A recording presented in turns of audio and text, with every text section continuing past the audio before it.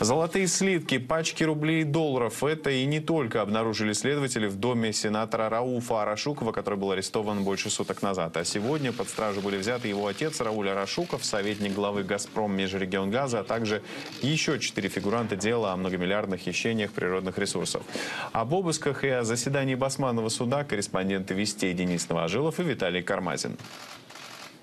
Рауль Арашуков уже в басманном суде. Он пятый подозреваемый по делу о преступном сообществе, кого сегодня привезли в Москву. Когда следователи только начинали допросы задержанных, в Карачаево-Черкесии шли масштабные обыски.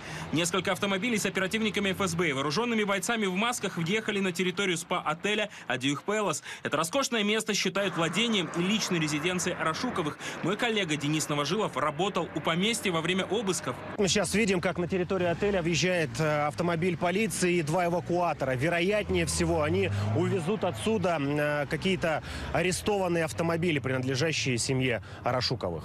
Вход и выход были блокированы. Внутрь не пропускали даже родственников отдыхающих. Они там не под стражей. Значит, послушайте, детей покормили, все нормально передали. Они там играют, все нормально. Мы хотим их увидеть. А это кадры с территории поместья. Невероятный вид. Комплекс с искусственным водоемом окружен горами. На территории ландшафтный дизайн и даже своя выставка ретро-автомобилей. Два из них уже увезли следователи. Поехали! Поехали!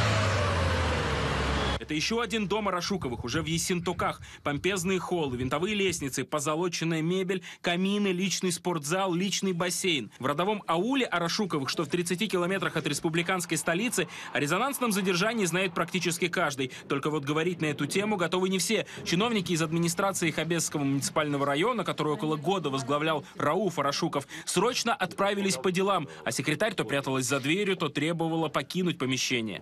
Я не могу вам никакие, ни на какие вопросы ответить. Вы можете это понять. В администрации поселения Хабеза та же картина. Ничего внятного, кроме как без комментариев, глава Мурат Дауров произнести не смог. Не готовы?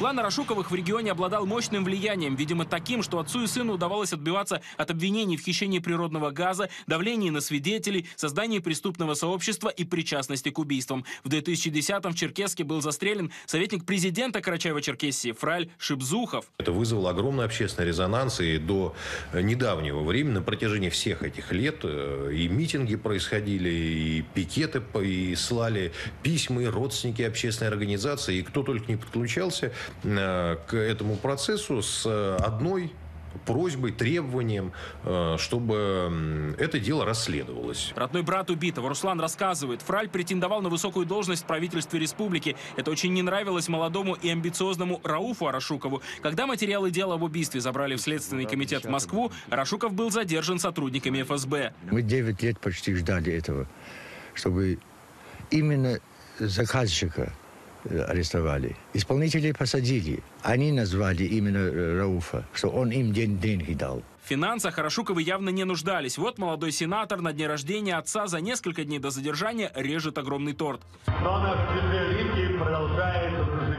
А вот и новые кадры, якобы сделанные во время обысков у Арашуковых. Стол завален холодным оружием, ножны инкрустированы камнями, золотые слитки 999 пробы, классические и в виде 100-долларовых купюр. По некоторым данным, это лишь малая часть того, что нашли у семьи Арашуковых. Обыски уже прошли в 11 городах. Промежуточный итог следствия – арест сенатора Арашукова. В Лефортово Рауфа Арашукова привезли накануне вечером в 22.00 по московскому времени. Сенатора осмотрел врач, а затем парламентария поместили в одиночную камеру на карантин. Это стандартная процедура. Уже через несколько дней Арашукову подберут сокамерника.